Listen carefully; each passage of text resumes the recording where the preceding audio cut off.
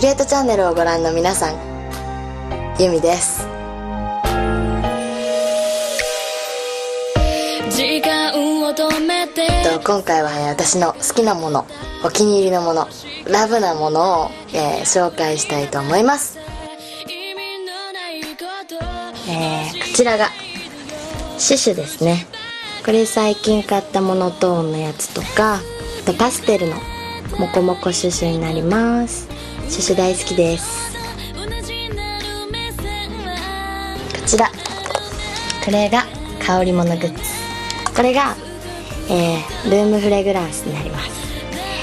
これストロベリーの香りですっごいいい香りなんですよ。かなり大好きな香りです。そしてこれ。これももう2本目になる、えースルタンのフェアリーローズっていう香水です。じゃじゃーんこれ最近やったネイルです、えー白とピンクのボーダースカールプにしました。今年注目してたマリンっぽい感じで怒りがここにあります。ました仕事の話仲間の話結婚したとか子供いるとかこれは大好きなつけまです。スリー選手です。今これが一番よくつけてて今もつけてるんですけどこっちちょっと古いやつ。7番です。これはこの束感とかこの道理っぽくなる感じがかなりお気に入りです。そしてこちらはちょっとファサファサタイプです。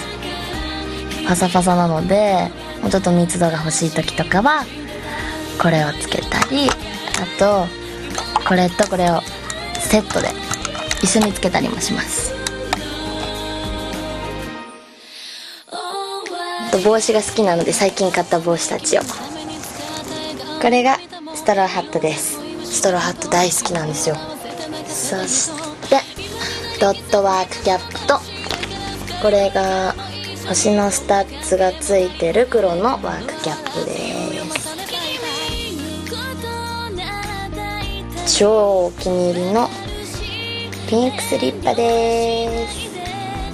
このピンク感がすごい好きでこれと一緒にこのこのこのこの。これ実は。バスローブです。このバスローブはこの腰のこのラブってロゴがすごい可愛くて買っちゃいました。しかもバスローブって結構長いイメージがあるんですけどこのバスローブはミニマムな私にもぴったりな膝上サイズ。お風呂上がりとかはこれ着てセレブな感じで、えー楽しんでます。また新しいものラブいものができ次第ジュリエットチャンネルで、えー紹介していきたいなと思います。それじゃあねバイバイ。チャオ。